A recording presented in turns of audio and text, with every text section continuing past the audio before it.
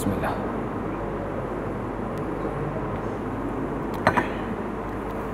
السلام عليكم ورحمة الله وبركاته. الحمد لله نحمده ونستعينه ونستغفره ونعوذ بالله من شرور أنفسنا. من سيئات أعمالنا من يهده الله فلا مضل له ومن يضلل فلا هادي له. أشهد أن لا إله إلا الله وحده لا شريك له وأشهد أن محمدا عبده ورسوله اللهم صل وسلم على سيدنا محمد وعلى آله وصحبه أجمعين أما بعد كان لي صعب لي لما تيجي لما تيجي لما بلو أي أي تقول لما بلو لا ada lepas dari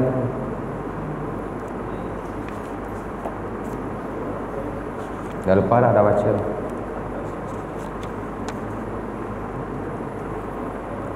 53 eh? ha. soft rasa dah baca dah ke tak baca saya rasa lah Okey tak apa tak apa 50 lah ha. hmm.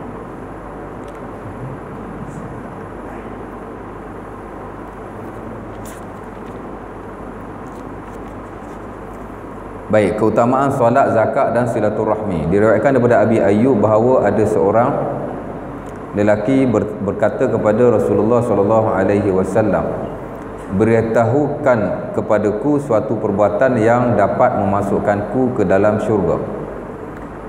Sabda baginda ta'budullah wa la tusyriku bihi syai'a.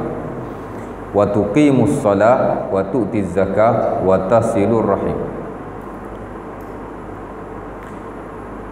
Ada orang tanya Nabi, apakah amalan yang boleh membawaku ke dalam syurga? Maka dia Nabi jawab, pertama ialah kamu menyembah Allah dan kamu tidak mensyirikkannya walau sedikit pun. Ha. Ha? Mana sembah Allah betul-betul lah dan tak boleh syirik. Ha? Ha. Mana kena betul-betul mentauhidkan Allah Azza wa Jalla. Ha? Ha, tak boleh terlibat dengan perkara yang boleh membawa kepada kesyirikan ha. kerana syirik ini ada benda kita nampak ada benda kita tak nampak ha. bahkan uh, pengajian akidah sebenarnya uh, perkara yang patut sekali ataupun paling sekali diutamakan ialah bagaimana kita mentauhidkan Allah Azza wa Jalla dan mengelakkan ataupun menjauhi syirik ha. kerana syirik ini ada yang besar ada yang kecil ada yang kita nampak ada yang kita tidak nampak ada yang secara langsung ada yang tidak langsung banyak sangat ha? Ha. jadi perlu kita tahu supaya kita dapat mengelakkan diri kerana uh, bila seorang itu melakukan syirik khusus syirik yang besar lah ha, dia bukan hanya boleh membatalkan amalan tapi boleh, boleh mengeluarkan kita daripada agama dan Allah Ta'ala tidak mengampunkan dosa syirik melainkan kita kembali bertaubat kepada Allah Azza wa Jalla dengan taubat yang nasuha. Ha. Dan banyak perkara yang boleh melibat, uh, boleh membawa kepada syirik. Ha.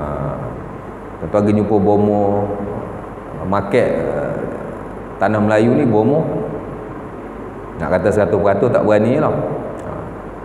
Tapi kita boleh kata 90% syirik sebenarnya. Ha. Dari sudut amalannya, dari sudut kepercayaannya, banyak benda yang karut marut. Nusantara Melayu. Dan bukan di Nusantara saja orang hatta di tanah Arab pun. Ha, orang Arab panggil khuzak balat khuzak balat ni benda merapu-rapu lah. Ada benda yang tidak syirik tapi ada yang syirik. Ha. Ha. jadi perlu hati-hati. Telah pula eh, masyarakat kita ni dekat sangat dengan pembunuhan ha. Nah kan Nabi dah sebut jelas hatta dalam buku-buku akidah pun jelas man ata arrafan au kahinan ha, fasaddaqa bima yaqul Nabi kata lam tuqbal minhu salatun arba'ina lailah. Ha. Nabi kata siapa yang mendatangi arraf setengah riwayat kahin. Ha. Dua-dua tu bomo belaka tu. Satu arraf, satu kahin. Ha. Kata Imam Al-Qurtubi rahimahullah taala dan tafsirnya, kahin ialah bomo yang cerita benda yang akan datang. Tu kahin seumpama Kuhan uh, Bani Israel ataupun Fir'aun. Ha, dia boleh cerita benda yang akan datang. Fir'aun dia mimpi tengok macam mana bintang ha. Uh, ataupun dia mimpi apa saya pun lupa sebenarnya. Dia tanyalah dia punya bomoh tu. Ha, bomoh-bomoh Fir'aun ni dia kata oh dia kata akan datang seorang Nabi yang akan menjatuhkan kamu. Ha, dia cerita benda yang akan datang. Itu disebut sebagai kahin ataupun kuhan. Ha, kahin seorang kuhan ramai. Ataupun juga disebut sebagai kahan tu seorang. Ha. tapi bomoh teruk sikit lah. Kalau kahin bomoh biasa. Kahan ni bomoh first class lah kita kata. Ha, dia bahasa Arab ni bila uh, dia kahan dia panggil sirah. Uh, apa nama? Panggil apa? Saya pun lupa. ha, tapi nak cerita macam tu lah ha, macam akil orang yang makan kalau akal orang yang kuat makan ha, kalau syarib orang yang minum kalau syarab orang yang kuat minum ha, nampak ha? Ha.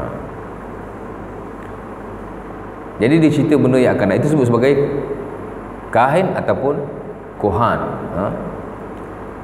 Ha. Arraf ialah orang yang beritahu benda yang telah lalu. Ha. Nampak? Anak dia sakit. Demam. Kan? Dia jumpa kita. Ha, biasalah saya kalau orang tak jumpa saya, saya tanya dulu dah berubat kat mana dah.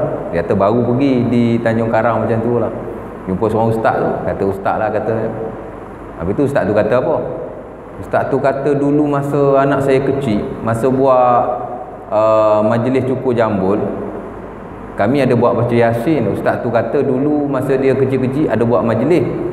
Uh, mengaji. Baca yasin lah kot uh, lepas tu dia kata pak imam tu mengaji ada salah baca baris Allah. Apa kena mengena dengan Pak Syekh tu baca baris anak tu kena penyakit.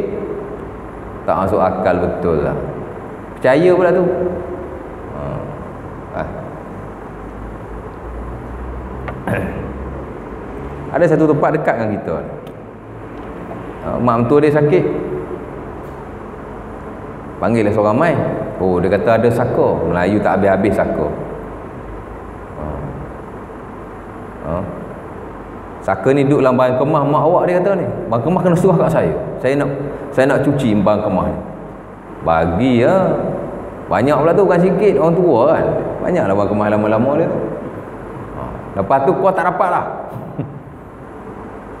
Minta barang kemah bagi tu. Saya tanya kakak berapa banyak nilai barang kemah tu. Dia kata kalau jual tu dapatlah dalam 10 ribu. Ha. Gelang satu, rantai dua. Ha, dapatlah.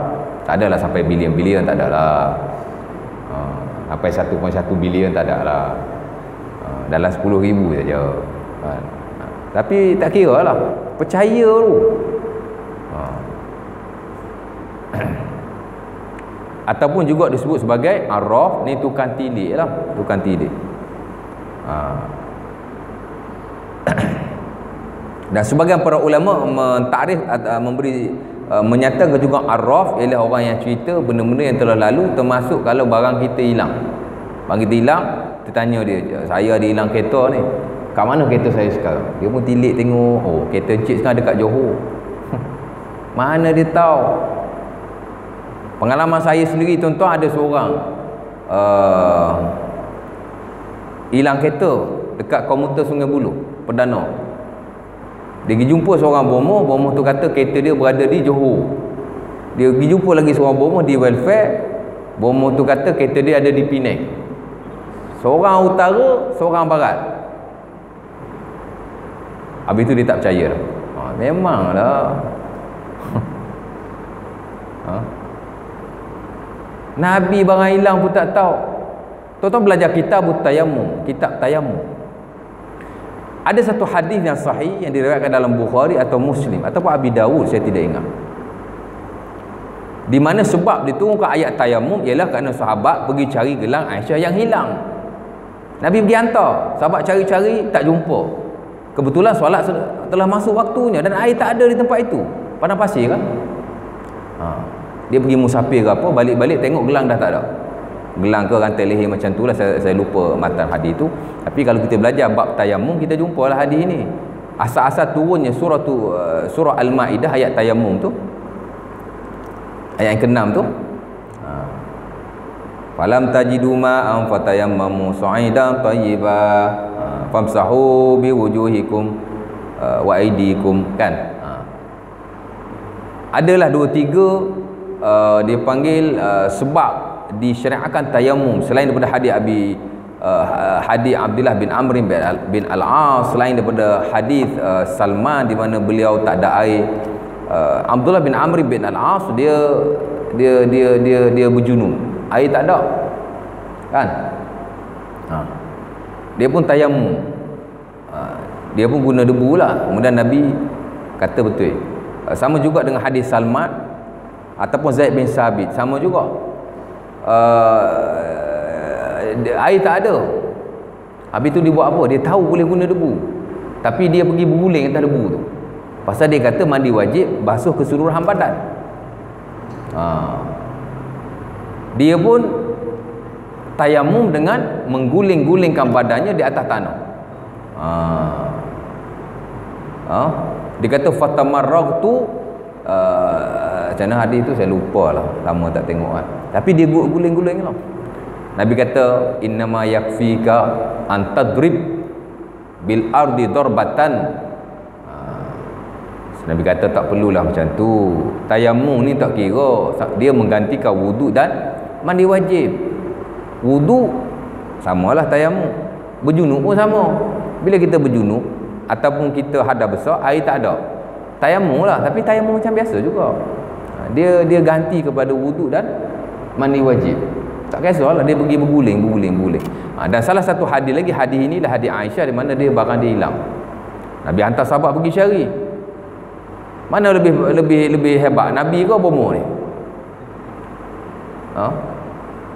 Nah, karomah ustaz aku karomah tu dia tahu kan. Nabi hantar sahabat pergi cari sahabat-sahabat cari tak jumpa masuk waktu air tak ada.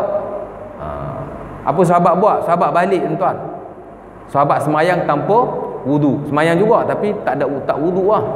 Ha. cerita kat Nabi turunlah ayat tayamum hak falam tajidu ma'am fatayammum. Kalau tak ada air Allah Taala kata tayammum. Ha. sebab itu dalam bab taharah juga tuan-tuan dalam kitab taharah dia ada satu bab. Dia panggil faqidut tahurain. Ha. faqidut tahurain ni bila air tak ada debu tak ada apa nak buat ha. kan ha. Imam Syafi'i ada banyak fatwa ha. salah satu dia kata semayang saja bila bila ada air baru qada satu fatwa lain dia kata semayang saja tapi tak payah qada kerana kita semayang di atas setakat yang kita mampu ha. dalam konteks yang sama lah ha. nak cerita Nabi ni barang hilang pun hantar sahabat pergi cari pergi cari lah sahabat tak ada air semayang tanpa wudu akhirnya turun ayat tayamum ha. Ha. tapi saya pun heran macam mana bomo boleh tahu. Dia scan kot scan macam tu. Oh, dia panggil ilmu makrifat. Ha. saya pun belajar tuan-tuan ilmu bomoh ni. Saya ingat jampi-jampi Melayu semua ni saya hafal. Tuan-tuan dengar tuan-tuan pun naik pelik. Ha. dan saya pun belajar perubatan Islam ni. Yang sebagainya tidak Islam mana pun nama lah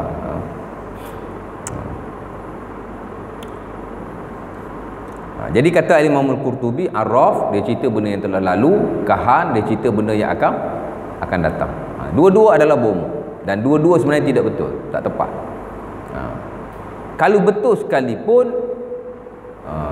kalau dulu memang pasal dulu jin tuan-tuan dia boleh naik sampai ke langit. Dululah. Tapi bila diutuskan Nabi Muhammad sallallahu alaihi wasallam pun tak boleh naik lagi. Yang tu yang tuan-tuan baca dalam surah Al-Mulk Ya Allah Ta'ala kata ha, Bila malaikat nak naik tu ha, Bila jin nak naik dia uh, Bukan surah Al-Mulk Surah apa nama ha, Selepas surah Yasin surah apa Safat ha. Ha, Dia kena syuhub Dia kena panahan-panahan Peti ha, Tak boleh ha. Jadi dia tak tahu lah ha. Ha? Saya tahu tak tahulah ya. Ha, tapi nak cerita benda tu boleh bawa kepada kesyirikan sebenarnya. Ha, tu tak masuklah amalan-amalan yang pelik-pelik lah. Ha. Ha. Hmm. Ha, tu kita kena faham bila kita semayang. Kita kata iyyaka na'budu wa iyyaka nasta'in. Ha. Kau lah yang kami sembah, kau lah yang kami minta pertolongan pasal apa Allah Ta'ala sebut minta pertolongan ni sebahagian daripada ibadah. Patut Allah tak sebut lah sebut ia akan nak bulu sajalah. Tapi daripada ibadah itu kamu yang kami sembah. Sebahagian daripada sembah ialah minta tolong. Minta tolong sembah juga. Sejenis satu jenis ibadah. Ha. Allah Ta'ala khususkan. Kerana manusia suka meminta tolong kepada selain Allah. Hatta pada zaman jahiliah bahkan. Minta tolong pada pokok minta tolong pada bukit minta tolong pada sungai penjaga sungai dan macam-macam jadi Allah Ta'ala kata sembah aku dan hanya minta tolong pada pada aku ha. boleh minta tolong ni tapi cari orang yang betul lah ha. Ha. jadi tak payahlah tuan-tuan buat habis duit tuan-tuan saja lebih-lebih lagi kalau bomo demand ha.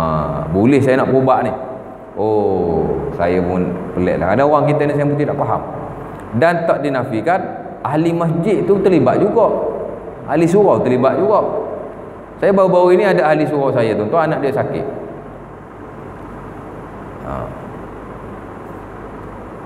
Ha. bukan nak cik memburukkan tidak tapi nak kongsi ha. panggillah seorang daripada si jangkang mana mari oh dia scan scan scan dia kata apa dia kata di tempat saya ni di flat saya dia kata ni ada jin banyak boleh muat sebiji bas Allah dia kata tu saya nak kena transport ni. Oh. lepas tu kena bayar. Seku jin 100 setengah oh kali dengan 40 orang. Dah muak bah muak 40 orang 40 orang kali 100 setengah. Dapat 8 ribu. Dia nak berubat boleh. Bayar ikut jin. Bayar ikut jin. Ada, ada tuan-tuan. Ha? Saya pun tak faham macam mana boleh jadi macam tu. Ha? Akhirnya kita ditipu ha? habislah duit kita baik ha, jadi penting syirik ni ha, dan termasuklah yang lain-lain ha? Ha, banyaklah kalau tuan-tuan nak bincang ha, tuan-tuan boleh, boleh bincang dalam kelas akidah sebenarnya ha. sebarang kepercayaan yang uh, dipanggil mencampuri urusan Allah dia termasuk dalam syirik termasuklah juga tangkal mangkal termasuklah juga apa nama uh, pelaris dan seumpamanya. Semua termasuk. Itu yang disebut sebagai syirik yang tidak jelas. Dan disebut sebagai asyirkul khafi. Uh, dia panggil hidden syirik. Syirik yang tidak jelas. Syirik juga tu. Uh, bukan benda tu syirik. Quran tidak syirik. Tapi kepercayaan kita itu ha. Ha. Ha. Gantung ayat sekian-sekian boleh melariskan perniagaan. Ha. dia juga boleh melibatkan membuat apa menyebabkan syirik sebenarnya. Ha. walaupun hukum gantung Quran ni makruh kalau tidak melibatkan kepercayaan. Tapi kalau melibatkan kepercayaan kepada tertentu maka dia boleh bawa kepada syirik. Ha. nampak? Gantung ayat Quran di depan pintu syaitan tak masuk. Oh loh kan? Dalam tubuh kita pun ada syaitan dia apa inna syaitan yajri min ibni adam majrad dam. Nabi sebutlah hadis muslim daripada Ummu Salamah. Syaitan berlari dalam tubuh-tubuh manusia. Sebagaimana berlarinya darah. Duduk dalam badan kita ya. Dan dalam hadis At-Tirmizi rahimahullahu taala ada tambahan daripada Aisyah. Aisyah kata kamu pun ada jin ke ya Rasulullah? Kamu pun ada syaitan? Wa anta ya Rasulullah kamu pun ada syaitan ke dalam badan kamu? Nabi kata na'am walakin aslamu. Tapi mereka telah masuk Islam ha. Ha. walaupun ulama ha, apa nama ada banyak huraian lah apa maksud syaitan tu masuk Islam ha. tapi nak cerita Nabi pun ada kita pun ada dalam tubuh kita ha. takut syaitan duduk dalam tubuh kita ni sebenarnya lagi bahaya daripada syaitan duduk kat luar tu ha. Ha. Ha.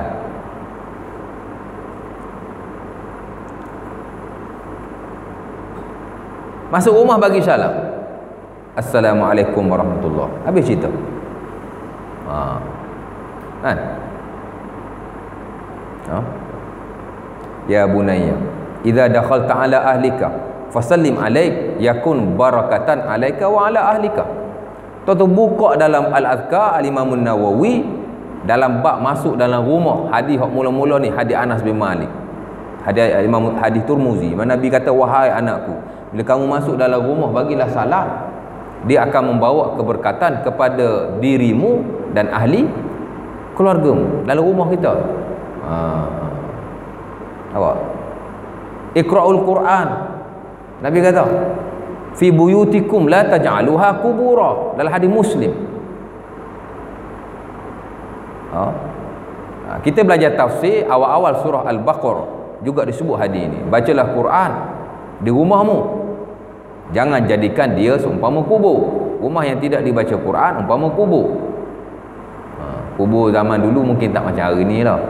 Kubur hari ni tuan-tuan pergi tak takut. Pasal cantik terang. Ha. Ha? kubur zaman dulu tak ada lampu. Takut lah. Ha, macam tu lah rumah kita tak ada cahaya. Gelap. Ha. kalau kubur tu berantu ha, sama lah. Rumah kita pun berantu juga. Lebih kurang begitu lah. Ha. ha. baca Quran sama juga dalam hadis Abi Dawud Nabi kata idza qada ahadukum salatahu fi masjidihi falyaj'al nasiban min salatihi fi baitihi innallaha ja'il fi baitihi khaira. Ada Abi Hurairah Nabi kata bila kamu dah semayang di di masjid balik semayang di rumah Allah Taala akan bawa kebaikan yang banyak masuk ke dalam rumahmu. Sebab tu ulama sepakat semayang sunat ni afdal di di rumah kalau kita tidak sempat buat rawatib di rumah ha, semayang lain lah. Sunat wudu ke sunat taubat ke sunat witir ke tak kisahlah. Janji biar every day di rumah kita semayang. Ha. kan? Itu penyelesaiannya. Ha. tak perlulah nak panggil ustaz pergi kerja air pergi baca yasin 40 kali. Kita duduk rumah tak buat apa ha. Penyelesaian ni agama. Bila kita faham agama kita tahu ada ilmu. Ha, okey lah. Kan? Tapi masalahnya bila kita nak bagi ilmu kita tak nak orang tak nak dengar. Ha. lepas semayang pakat lari balik belakang. Kan? Ataupun tunggu bulan puasa. Ha, bulan puasa ramailah sikit. Aman Nabi pergi hak bulan puasa hari tu? Tak ada habis lah. Oh, ini betul-betul kembali kepada Aidil Fitri ni kembali kepada fitrah. ha, fitrah kita macam ni lah ha. Ha. Ha, dia Aidil Fitri ni maksudnya kembali kepada fitrah. Jadi tiga lah. Pertama kita kembali kepada fitrah kemanusiaan. Dulu kita tak makan, ni kita dah makan. Dulu makan juga, uh, bulan puasa Allah Taala tahan sebahagian daripada fitrah. Makan fitrah. Tak ada manusia yang tak makan. Ha. Kalau tak makan tu bukan manusia tu. Cuba cek. Rasa-rasa bukan manusia dia tu. Kalau manusia mesti makan. Tapi bulan puasa Allah Taala tahan fitrah itu sebahagian daripadanya. Siang ya tak makan malam boleh. Buka puasa kita makan mori kita makan sahur kita makan boleh banyak. Ha. sama juga ha. bersama isteri juga fitrah. Bersetubuh ni fitrah. Manusia perlu benda tu. Sebab itu disyariatkan perkahwinan. Fitrah tapi bila bulan puasa Allah Ta'ala tahan sebahagian daripada fitrah siang tak boleh malam boleh ha. siang kalau buat kena kafar kalau larat buatlah. Tapi tak apa ustaz, saya nak buat saya minum dulu. Mazhab Syafi'i kata kalau minum dulu tak payah kafarah, qada saja. Jadi cerdik kita lah pada Allah Taala ni. Kan?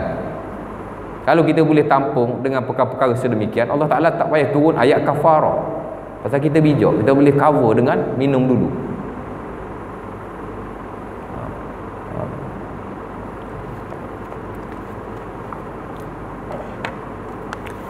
Jadi Allah tak tahan.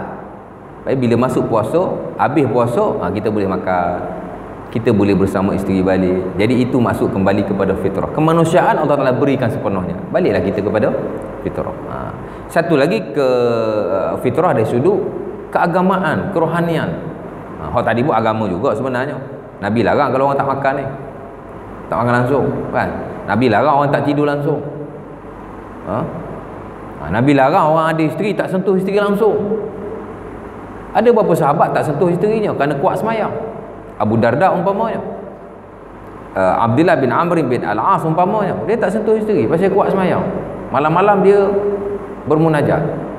The whole night. Nabi larang. Inna li rabbika alaika haqqa wali ahlika alaika haqq wali nafsika inna li rabbika alaika haqqa wali nafsika alaika haqqa wali ahlika alaika haqqa ati kullazi haqqin haqqa ha. ahli muslim dan Salman Nabi kata bagi Allah itu ada tanggungjawab. Bagi dirimu ada tanggungjawab. Bagi keluargamu ada tanggungjawab. Nim fasalli. Tidur. Lepas tu barulah sembahyang ha.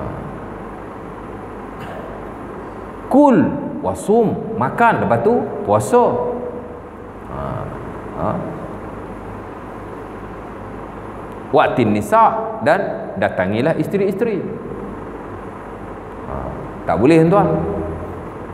Dia tinggalkan isteri sewenang-wenangnya. Walau atas nama agama tak boleh. Ha?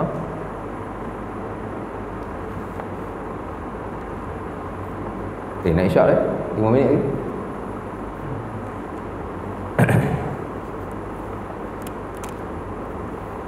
Tak nak tadi eh?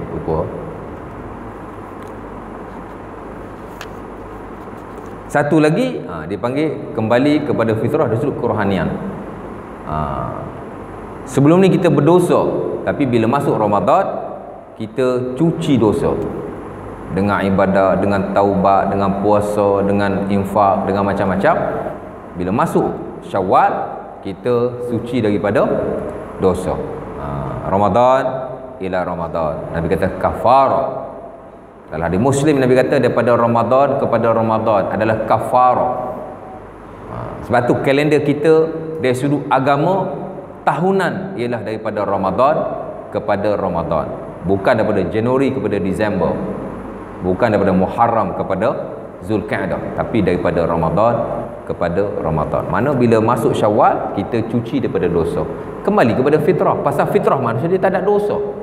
Anak kecil lahir ada dosa. Tak ada.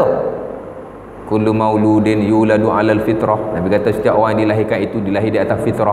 Ulama kata lazam balahu. Tidak ada dosa baginya. Walaupun anak zina. Ha, tak ada dosa. Ha, dia tak salah. Ha, dia macam kita juga. Dari sudut agama dia macam kita. Tak ada beza. Ha, cuma dari sudut keturunan lah. Ada ada ada problem. Tapi dari sudut kemanusiaan dia sama. Sama saja. Ha, di sisi Allah. Tak ada beza sikit pun. Ha. cuma dari sudut fiqh dari sudut fiqh tu ada beza lah ha, tapi dari sudut uh, dipanggil ubudiyah perhambaan tidak ada beza. Ha. Ha. Ha, dan satu lagi hak saya tambah sendiri. Ha, kembali kepada fitrah ni mana? Ha, inilah. Fitrah dulu tak ada tak ada orang masjid. Bila puasa ramai orang lepas puasa tak ada orang balik ha, tu fitrah jugalah bagi saya lah itu itu tak ada lah dalam buku eh, syariah ni tak ada itu saya tambah sendiri lah kan ha. Ha.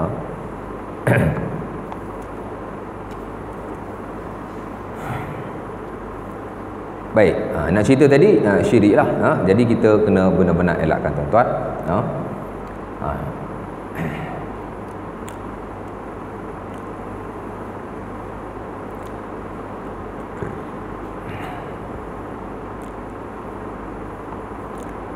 Kemudian uh, Nabi kata ta'budullah la tusyrik bihi syai'an.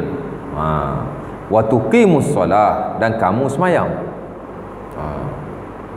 Pasal apa kena semayang? Pasal semayang ialah Imaduddin. Dia adalah tiang agama. Wa tu'tiz zakah dan kamu kena bayar zakat. Ha?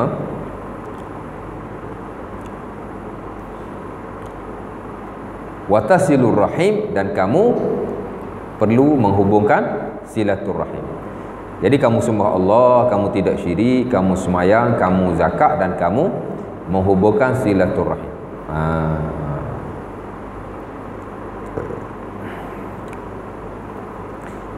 Allah Ta'ala berfirman dalam surah An-Nur wa aqimus salah wa atuz zakah wa ati'ur rasulah la'allakum turhamun Dirikanlah semayang, tunaikanlah zakat dan taatilah Rasul.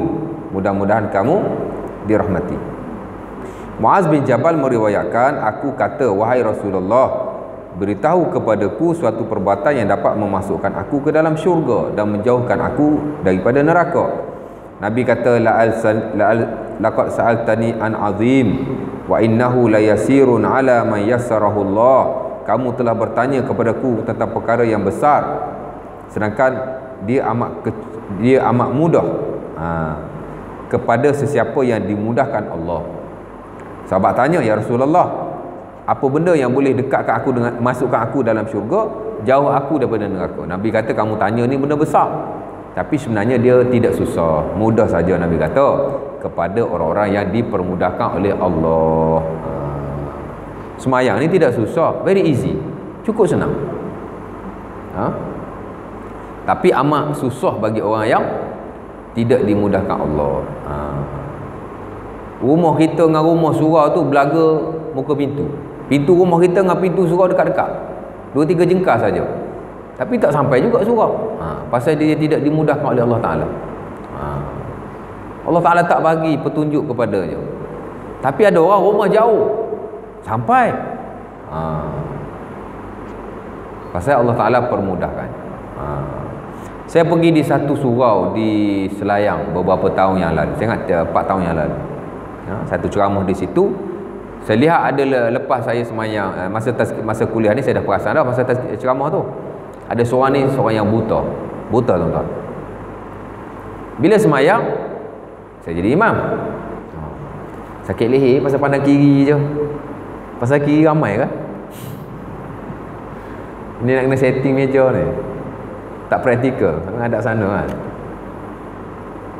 Kena tak belah sana pula rasanya ha, sana okey. Pakak mari duduk sana belakang. Ha? lepas tu bila semayang syok saya semayang sunat saya pergi semayang sebelah dia. Saya semayang sebelah dia. Sebab saya tahu dia buta. Mata tak nampak macam tu. Lepas semayang sunat apa gitu gini saya pun salam dengan dia. Ha. Saya salam dengan dia saya tegur dia lah dia cam suara saya ustaz yang mengajar tadi ke dia kata ya saya kata saya tanya dia pakcik pakcik tak nampak ke dia kata saya buta ustaz Lepas tu saya kata macam mana pakcik datang masjid? Ha. Dia kata rumah dia ke masjid ada tali, ada tali tuan-tuan. Ha. Ada tali. Dia buat tali tapi tak adalah jauh. Tak ada dari sini sampai Sungai Buloh. Lebih kurang saya tanya berapa jauh? Dalam 100 meter. Belakang ni ustaz. Selang 2 3 rumah. Adalah dalam 50 ha, 100 meter macam saya lah cakap macam tu, dia cakap macam tu. Oh pakai tali tu saya tanya berapa lama dah tak nampak dia kata dalam 2 tahun ha. Ha. Hmm. ada longkang besar pula tu rumah teres depan rumah teres ada longkang besar buat jatuh dalam longkang tu siap dia kan sedih saya tuan orang buta ha. Ha. Ha. saya ingat dalam umur 60 lebih dah kot ha. saya tanya dia pakcik uh, uh, pendapatan macam mana dia kata isteri dia saya ada pencen saya tak tahu ada pencen apa dia kata saya ada pencen bulanan pencen ni banyak kadang-kadang pencen kita kerja kadang-kadang sok-sok bagi pencen ha. ha? pencen sok-sok bagi tuan ramai orang Melayu tak tahu nak claim sok-sok pasal saya juga tidak dinafikan tidak didedahkan di televisyen jarang cerita bak sok-sok ha, ni cerita bak sok-sok pula ni nak cerita ni agama pun nak cerita sok-sok ni tapi saya bagi tahulah tuan-tuan. Kalau tuan-tuan accident, patah tangan, yang patah gigi sudahlah. Mungkin tak ada claim lah. Ataupun tuan-tuan accident apa-apa kecederaan. Hatta kalau tuan-tuan kena penyakit buah pinggang, tak mampu bekerja, tuan-tuan kena penyakit jantung, tuan-tuan boleh pergi ke SOKSO claim. Selagi mana tuan-tuan ada account walaupun tuan-tuan dah tidak mencaru. Ha. Saya kalau pergi ke SOKSO, saya lihat ramai bangsa selain Melayu. Wah, ramai orang Cina. Ramai orang India tapi tak ramai orang Melayu. Pasal orang Melayu tak tahu. Ada sahabat saya tuan-tuan, dulu accident motor patah kaki, tak claim. Lepas tu accident uh, jari patah tak claim. Ni patah ni baru nak claim. Oh, sekarang saya kerja sendiri ustaz. Sekarang kerja sendiri. Dulu pernah mencarung tak? Uh, dulu masa bujang-bujang saya pernah kerja kilang. Uh, ada sok-sok lah tu, ada akaun lah tu. Dia tak kisah janji ada akaun bolehlah try pergi mohon ha. ni baru-baru ni jiran saya kena jantung dia sudah tidak mencarum sokso hampir 20 tahun tapi dulu dia mencarum selama 15 tahun ok dapat belum dapat lagi lah. Tapi dipanggil interview. Saya bawa pergi lah sokso ha. pasal saya lihat orang Melayu tak tahu. Tapi bangsa lain dia tahu. Boleh claim kita tak tahu. Ha. ha? kalau tuan-tuan boleh sakit boleh claim tak dapat tak apa. Tapi kalau sakit-sakit kemalangan. Terutama orang yang bekerja sendirilah. Yang mana dulu pernah mencarut. Kalau tuan-tuan kerja sekarang masih bekerja memang company akan claim lah biasanya. Tapi ada juga company tak claim dia malas eh? boleh jadi. Tapi kalau tuan-tuan bekerja sendirilah khusus. Atau hatta kalau tuan-tuan pencen pun. Yang saya bawa ni dia pencen umur 60 tahun. Pencen dah. Dia pencen MAB kena jantung. Masuk UiTM kena 11 ribu. Saya bawa dia pergi sokso layak mohon. Walaupun dia hanya mencarung sokso selama 15 tahun saja dulu. Tahun 80-an dah 20 tahun dah tak mencarung? Boleh? Ha. ha. pasal tak ada ilmu tak tahu ha. dan saya tegahkan kepada mereka saya kata orang Melayu ni dia tak tahu sikit babak macam ni. Tapi bangsa lain tahu. Tuan-tuan tak percaya tuan-tuan pergilah tengok. Siapa paling ramai? Ha, orang Melayu tak tak tak kemalangan kot ustaz. Sikit mungkin ramai yang claim ni bangsa asing sebab mereka banyak kemalangan. Sama saja orang Melayu pun banyak kemalangan. Banyak kena penyakit. Tapi sebab tidak tak tahu. Ha. apa ha? maaf sah sok pula tu kat mana tadi? Ha, nak cerita tadi uh, buta lah dia buta tapi sampai juga ke masjid. Ha, patut kita kena malu lah tuan-tuan. Ha, kan? Kita Allah Ta'ala bagi tubuh badan sehat. Kadang penyakit ada masing-masing ada penyakit. Tak dinafikan. Ha, tapi ada kekuatan ada kemampuan. Maka kita cuba sebaik mungkin. Ha, ha, ha. dan kita ajaklah juga anak-anak kita anak-anak buah kita jiran-jiran kita yang muda-muda itulah yang terutama ha, ha, ha, ha. baik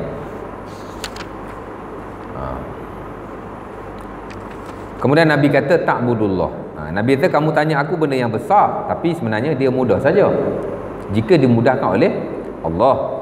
Kamu sembah Allah, kamu jangan syirik, kamu semayang dan kamu zakat. Diriwayatkan daripada Abu Hurairah bahawa ada seorang Arab Badui.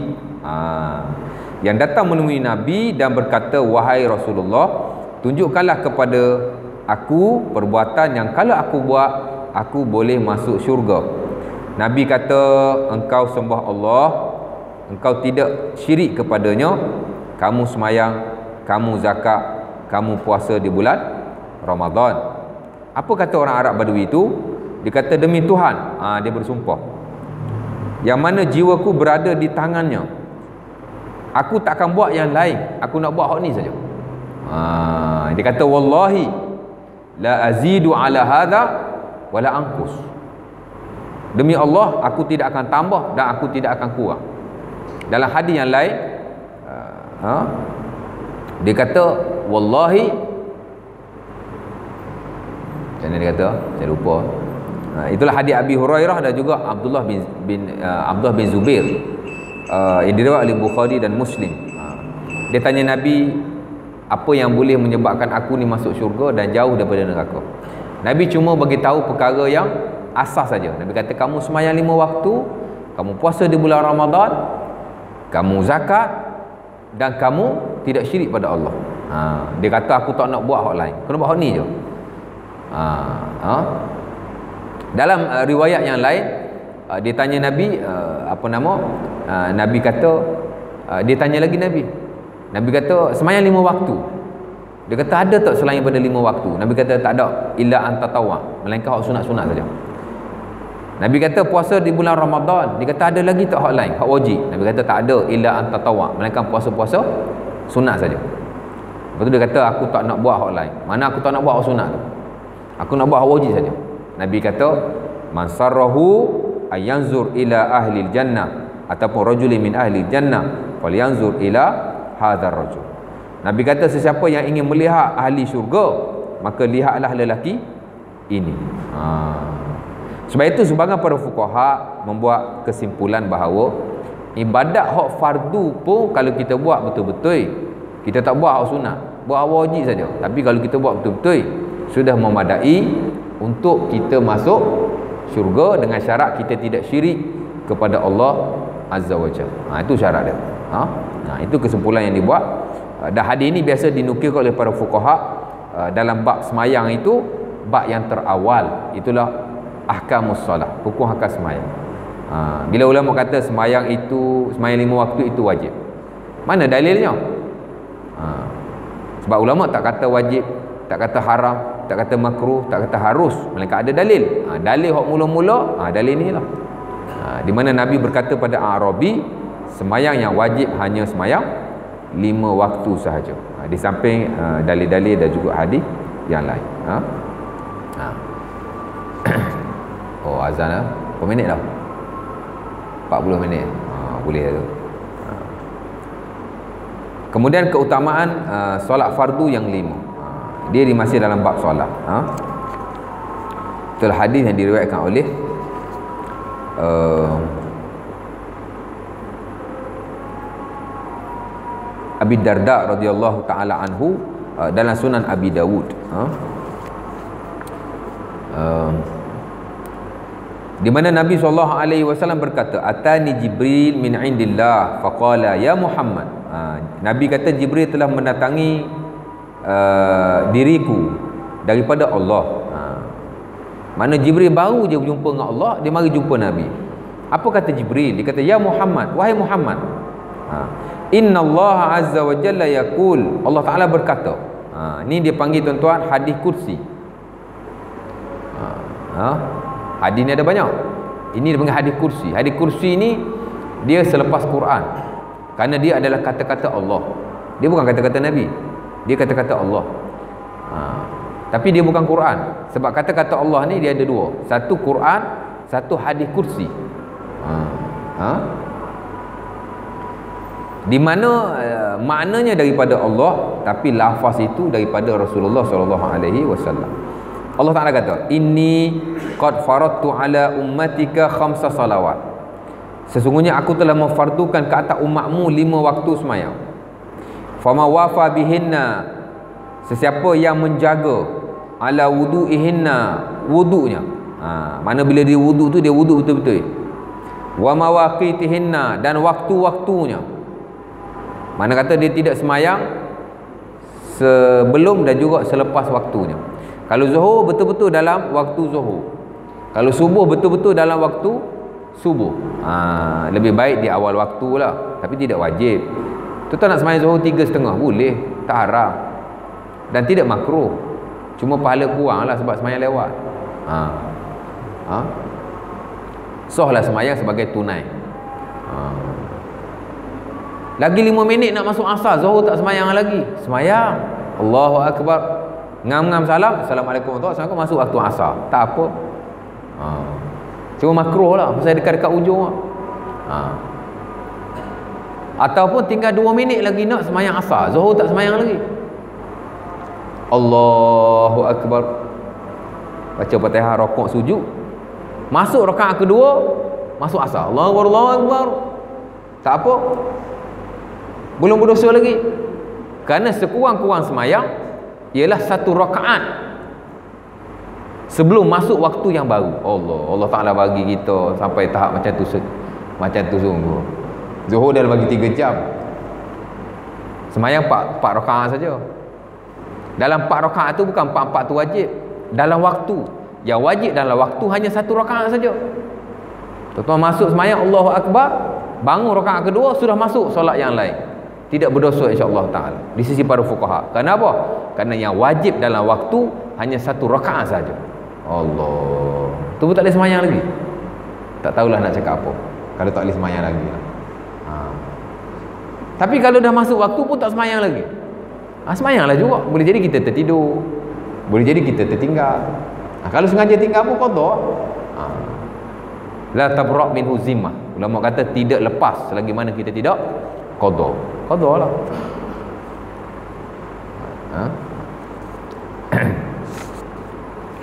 Lepas tu Nabi kata innahu yasir dia mudah tidak susah ha? cuma kalau kita tidak kita di, tidak dimudahkan oleh Allah Ta'ala maka jadi susah. Ha? kita tidak berusaha lah kita kata bukan tidak. Ha, memanglah Allah Ta'ala lah tidak memudahkan. Tapi hakikatnya kita kena berusaha juga. Waruku'ihinna ha, dan rokoknya. Ha, rokok tuan-tuan. Ha, jangan tunduk sangat. Jangan tegak sangat. Jangan rokok muka hatala ke depan. Rokok betul-betul je lah. Ha. Belakang kena lurus tangan letak di kepala lutut mata tengok tempat sujud ataupun tengok di kedua kaki bolehlah dua-dua tu diharuskan oleh para ulama ha. dan tangan direnggangkan sedikit ha. orang lelaki sunat bila rokok tangan bukan lurus bengkokkan sedikit ha. kerana Nabi idza raka'a wattara baina yadayhi Nabi SAW bila dia rokok dia merenggangkan sedikit tangannya kata lima kata ulama uh, uh, apa nama awajahu dia membengkokkan sedikit. Kita dalam mazhab syafi'i dia istilah dia ialah jafa baina adudai uh, dia mengembangkan sedikit dia punya uh, tapi perempuan sunat macam itulah tapi laki uh, sunat. Uh, uh, rokok pun sama sujud pun sama. Uh, bila kita sujud uh, kita sujud macam tu. Kan sujud macam tu? Kan? Uh, ha? itu sujud wanita dalam mazhab syafi'i. Kepit ha, adalah tujuannya tu. Taklah saya cerita. Ha, tapi laki macam tu. Dalam keadaan biasa selagi mana kita boleh. Ha, tapi kalau dalam berjemaah janganlah macam tu kadang-kadang. Ha, bolehlah macam tu. Tengok kepada ha. tapi nak cerita rokok jaga kata Aisyah radhiyallahu taala anha kana nabi idza raka'a lam yusawwib ra'sahu wala yukni'u Nabi sallallahu alaihi wasallam dia semayang dia tidak terlampau tunduk dan tidak terlampau menegak. Mana? Ha. Kan Nabi sallallahu alaihi wasallam idza raka'a sawwaba zahrahu kata Abu Hurairah Nabi bila semayang dia meluruskan belakangnya. Ha. lurus kadar hak kita faham lah. Jangan sampai nak lurus ambil pembaris pula ukur lurus. Tak ada tahap macam tu. Belakang kita tak jadi lurus macam tu kan? Ha. Tapi nak cerita perlu diluruskan. Ha? Ha. Kan Nabi idza raka'a farraja baina asabi'ihi. Nabi bila dia uh, rokok dia merenggangkan sedikit jarinya. Ha, itulah masuk menjaga kesempurnaan rokok. Ha. Kata Ibnu Umar kana Nabi idza raka'a wada'a yadayhi ala rukbatayhi kal qabid 'alaiha ataupun alaihima. Ibnu Umar kata Nabi wasallam bila rokok dia menggenggam lututnya. Ha. mencengkam lututnya mana kata pegang lah ha, tapi letak pun boleh juga pasal ada riwayat letak ada riwayat pegang ha, dua-dua boleh lah tak ada masalah ha, ha. tapi jaga rokok ha. dan jangan kita bangun daripada rokok melainkan setelah imam bangun daripada rokok ha. Ha. Imam sami Allahu liman hamidah. Ya, imam dah berdiri, ha, baru kita bangun. Jangan kejar-kejar dengan imam pula. Allahu Akbar. Selagi eh, dahi imam tak sampai ke tempat sujud kita jangan turun sujud. Ha, ha? macam tu lah ha? jaga rokok wasujudihinna dan jaga juga tempat sujud. Eh, sorry jaga juga sujud. Ha. sujud pun sama lah kanan Nabi idha sajada makkana jabhatahu dalam hadis Abi Dawud kata Anas bin Malik tak silap saya Anas bin Malik dia kata Nabi SAW bila dia sujud dia men, uh, dia merapatkan dahinya. Ha, ha? mana bila kita sujud kita kena memberatkan dahi. Jangan kita tahan dengan tangan. Tangan lepaskan. Biar dahi tu berat. Tu mana tamkin. Ha. dan kita mazhab syafi'i kalau semayang memberatkan tangan berbanding dahi tidak sah. Lepaskan tangan dahi saja berat ha. ada orang dia semayang dia sujud dia tahan tangan tu jadi ada ada ada tenaga kat tangan tu jadi sujud tu tidak sempurna ha. kalau tahan lebih sikit jadi tidak sah ha. lepaskan ha. kerana Nabi idza sajada dhamma asabi'ahu kata Wa'ib bin Hujur Nabi SAW bila dia semayang dia bila dia sujud dia merapatkan jarinya ha. dan boleh dibukakan sedikit saja sedikit buka itu uh, dia masuk kesempurnaan. Tapi kalau tuan-tuan sujud macam tu pun sah. Jangan kata saya tidak sah. Ha, saya nak tafsirkan hadis ni Nabi kata jaga sujud mana jaga kesempurnaannya mana kita sujud macam Nabi sujud. Ha, macam tu lah. Ha? Ha.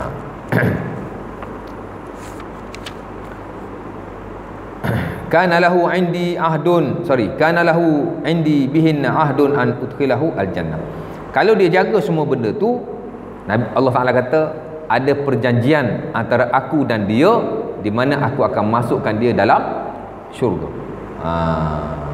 Nampak? Ha? Wa man laqiyani qad intaqasa min zalika syai'an laisa lahu indi ahdun. Siapa yang berjumpa aku, yang ni berjumpa Allah, dia tidak cukup benda-benda hak tadi. Ha. Boleh dia tidak semayang. Boleh dia semayang tapi tidak cukup hak tadi. Ha? ha? Ada kekurangan pada perkara-perkara sedemikian. Maka tidak ada perjanjian antara aku dan dia. In syi'tu azabtuhu. Kalau aku ingin aku akan mengazabkannya. Ha. Wa in syi'tu rahimtuhu. Setengah riwayat wa in syi'tu wafartu lahu. Kalau aku nak aku juga boleh mengampunkannya ataupun memberi rahmat kepada ha. Hadis ini yang dijadikan uh, dalil oleh mazhab syafi'i orang yang tidak semayang dia tidak kafir cuma berdosa kerana tidak semayang ha. walaupun di sisi sebagian ulama yang lain orang yang tidak semayang langsung terutamanya dia terkeluar daripada agama muktamad dalam mazhab hambali orang tak semayang tuan-tuan dia kafir ha? dan dia perlu dihukum bunuh sebagai seorang kafir la yukhsal dia tidak dimandikan. La yukafan dia tidak dikafankan la yusalla alaih tidak disolat ke atasnya. Wala yudfan fi maqabiril muslimin. Dan tidak sekali-kali dia ditanam di perkuburan orang-orang Islam. Tak boleh. Ha ha ha. Awak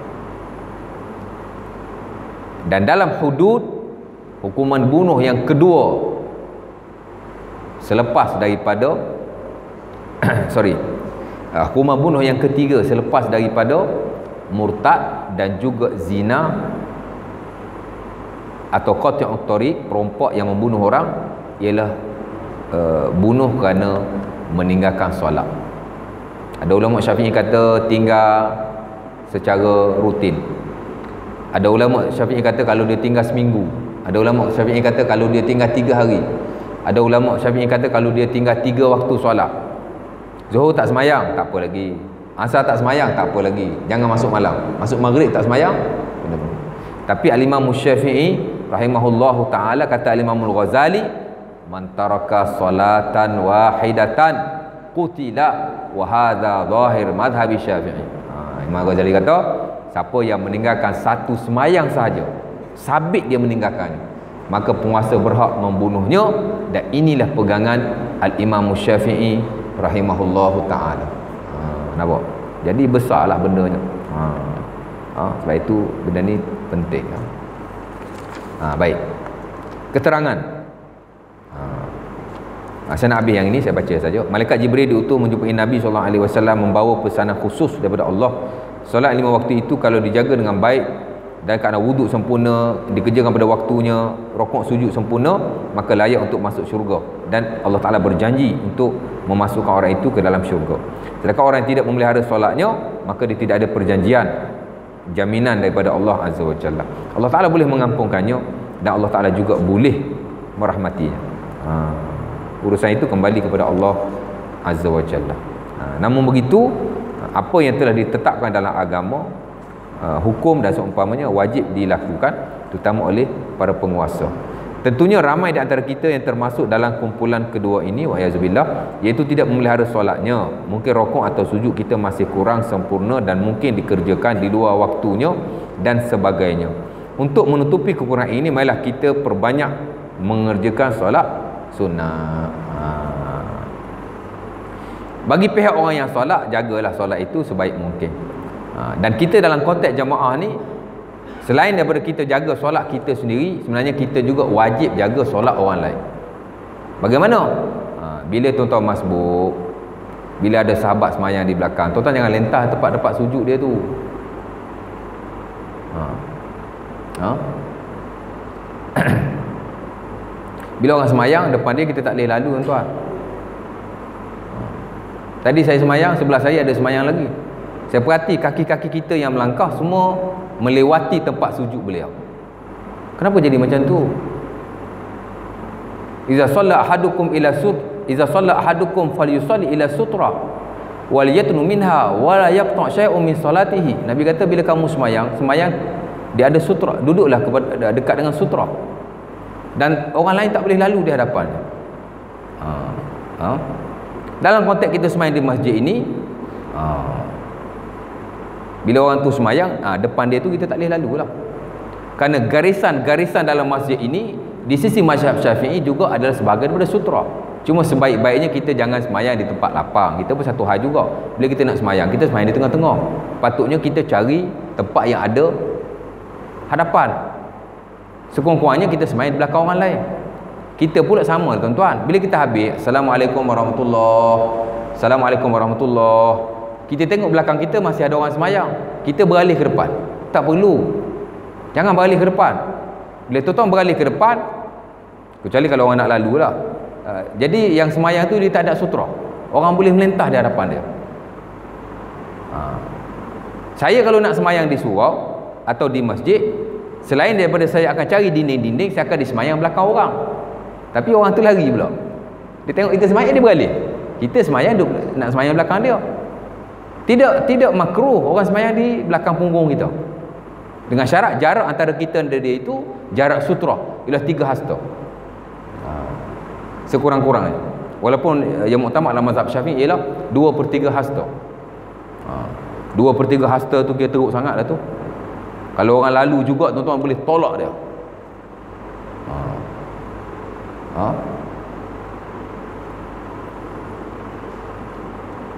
Jangan melintah di hadapan orang solat maya melewati tempat sujudnya. Kerana itu sutrah beliau. Dan kita berdosa. Ha. di samping kita tidak menghormati solat beliau. Cari ruang-ruang yang ada. Dan kita yang nak semayang sunat pun itu dalam konteks semayang masbuk tadi lah. Dalam konteks semayang sunat pun sama tuan-tuan. Carilah uh, benda-benda yang kita jangan semayang merata macam tu.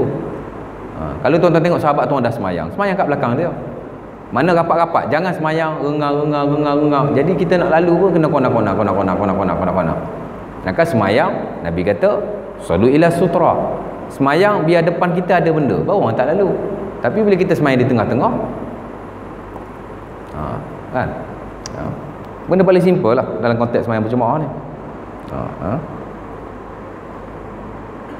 Tapi kalau kita Uh, semayang di belakang orang dia lalu juga tak boleh buat apa lah ha, kalau kita boleh boleh tahan kita tahan ha, tapi kalau kita boleh memang kita kena tahan pun nampak orang nak melintah kat tangan macam tu. Ha, kalau dia melintah juga tolak dia. Sunat tolak kau? Ha, fa'in aba Nabi kata falyuqatilhu. Dalam hadis muslim Nabi kata kalau dia lalu juga kamu lawan dia. Kamu perangi dia. Fa'innahu syaitan. Nabi kata itu adalah syaitan. Ha. Orang melintah di hadapan orang ni hak mana lawan lah. Tapi kita tidak lawan. Biasa orang tahan kita tak lalu. Ha. Tapi kalau lalu juga tahan lalu juga takut syaitan tak takut ha. jangan tuan-tuan ha. ha.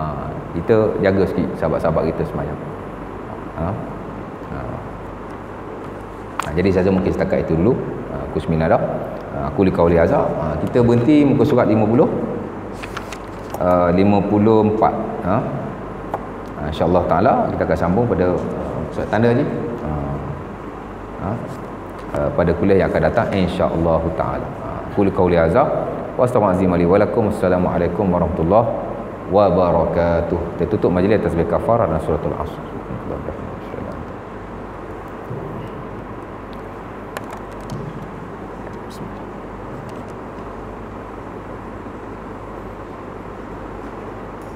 Alhamdulillah